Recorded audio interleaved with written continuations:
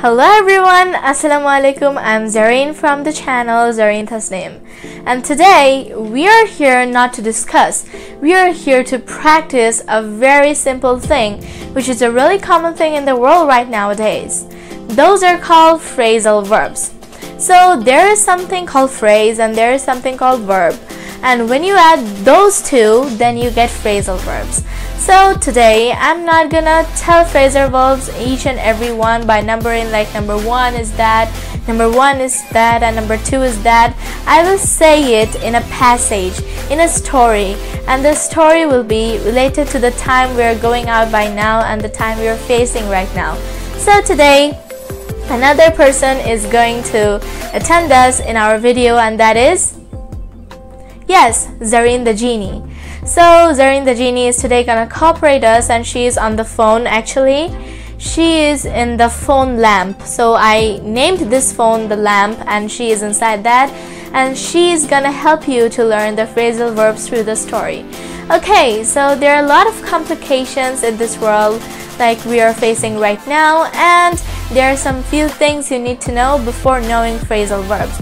Phrasal verbs are different types like you can express sorrow with them, you can express happiness with them, you can express grief with them or they may be some kind of like related to treatment, they may be kind of related to music, they may be kind of related to medicine or e-commerce, service, anything. Today, our topic is going to be a slight different and a little bit of complexive too. But in the passage, I'm gonna note the phrasal verbs on different colors, so I hope you will be able to understand. And let's see whether we have any steps to follow in phrasal verbs. So in that case, actually our guide is going to help us. So, hello guide, what are our steps today? Hmm, she is saying that at first, when we learn phrasal verbs, we have to first listen and read the phrasal verbs. Yeah, you can listen to me and then read the phrasal verbs on your own because I will write them down on the screen. Then what is the step 2? It is listen and repeat. Yeah, after you listen to me, you can pause the video right there and you can repeat after me. Like I said, today is a good day you pause the video and you also say that today is a good day. So that would be really nice. And what about step 3?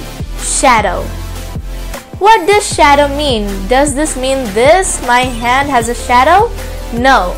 Shadow means that you will speak the same time I will speak, not after I speak. The same time I'm speaking, like I am saying that today is a good day, you'll say at the same time today is a good day. So this is what shadow means. So our study guide tells us the steps. Now, we're gonna know from Zarin the genie what is our story today and what can we learn in that story? What are the phrasal verbs actually? So I'm gonna play Zarin the genie's voice and she's gonna instruct you how to learn phrasal verbs through a story. So let's start! Welcome everyone Ooh. to the English practice session with Zarin the Genie. So as I said in my video that I was supposed to tell you a story which has phrasal verbs in it. So as I'm a genie, I have to tell you the story's name, a year to remember or forget. And now I have many works to do because I am always in fulfilling wishes. So let's quickly move on to the story. 2020 was an unprecedented year. In my mind, it will always be the year the world ran out of toilet paper. The year when it became acceptable to go to work in our pajama pants. The year we all brushed up on skills and took up new hobbies. Pajama pants? Oh, that's funny. Forget about it. I started baking sourdough with everyone else. But it's also the year that millions of people around the world came down with a mysterious virus of course, COVID-19 coronavirus that quickly became a global pandemic. And tragically, more than 2 million people have passed away from it. But did you know that over 60 million people have successfully fought off the virus? Incredible! People have been impacted in different ways and it has certainly highlighted inequality. There has been lots of financial uncertainty. People have lost their jobs. Businesses have been impacted. Some have been lucky and had savings to dip into, but other people have gone without essential items at times. On a positive note, we've really seen people step up and help out their local communities where they can.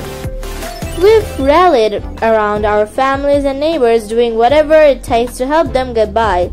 Collaboration between scientists and researchers has led to the development of multiple vaccines which are being rolled out in many countries right now, and it seems to be working.